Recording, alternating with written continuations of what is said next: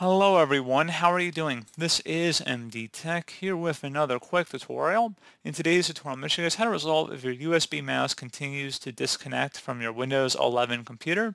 So if your mouse is continuously disconnecting, in today's tutorial I'm going to show you guys how to hopefully resolve that without too much of a hassle. And we're going to go ahead and jump straight into it. So first thing we're going to do is open up the search menu, type in Device Manager. Best results should come back with Device Manager. Go ahead and open that up. Double click on the Universal Serial Bus Controller section and then go underneath all of the USB devices in here. Right click on them and select Properties. Select the Power Management tab and where it says allow the computer to turn off this device to save power, you want to go ahead and make sure that is unchecked and then select OK. And you would go down the list and for all the USB devices, you would go double click on them and again uncheck that option to allow the computer to turn off the device to save power. So make sure they are all turned off there. So pretty straightforward process on that. And next thing we're going to do is close out of here.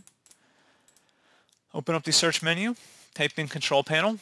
Best result should come back with control panel. So go ahead and open that up. You want to set your view by to category view. And then you want to select hardware and sound.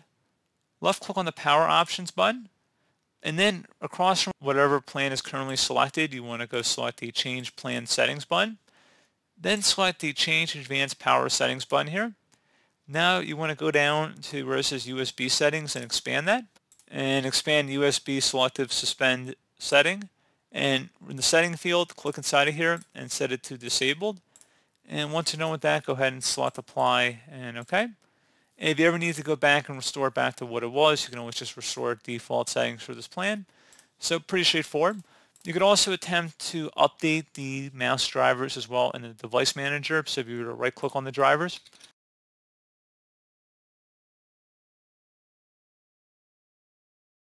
and then select update driver, select browse my computer for drivers, and then select let me pick from a list of available drivers on my computer, select next, and then close out of here you will need to restart your computer as well.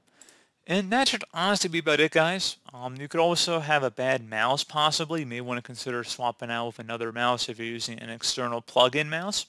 Try a different port as well, different USB port, something you might want to try as well.